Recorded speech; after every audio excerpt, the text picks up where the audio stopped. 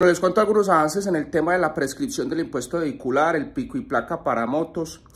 y el tema del empalme entre la alcaldía saliente y la entrante de Medellín. En cuanto al tema de la prescripción del impuesto vehicular, que yo la solicité a través de la teoría de la movilidad, que no están aceptando las prescripciones de los impuestos a veces con más de 10 años, eh, ya me contestaron y me dijeron que van a remitir al área encargada, que es el área de cobro jurídico. Toca esperar unos 15 días hables que respondan. En cuanto al tema del pico y placa para motos, eh, me,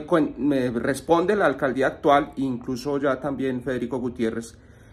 pues que la, alcaldía actual que eso lo deja en manos de la alcaldía entrante, eh, si desmontan o no el pico y placa para motos de Medellín. Y la alcaldía eh, de Federico Gutiérrez, bueno, Federico Gutiérrez a través de un apoderado me dice que eso le corresponde a la alcaldía actual, mejor dicho, que eso está en el aire, que ya le tocará, digamos, a Federico en la próxima definir eso.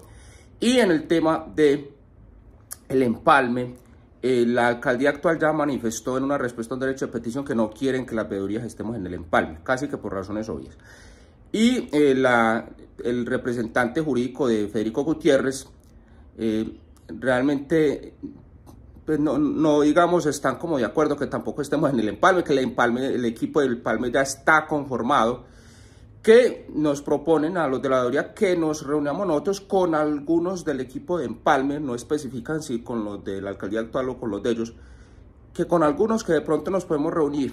pero la verdad de la teoría queremos estar es en el empalme como o sea, nosotros no somos niños chiquitos que nos van a dar un conflictico y con eso nos contentan, no queremos estar en todo el empalme, entonces ya estamos esperando la decisión del juez que diga si o no eh, la veeduría tiene, eh, digamos, el derecho a participar en el proceso de empalme. Faltan pocos días, vamos a ver qué dice un juez.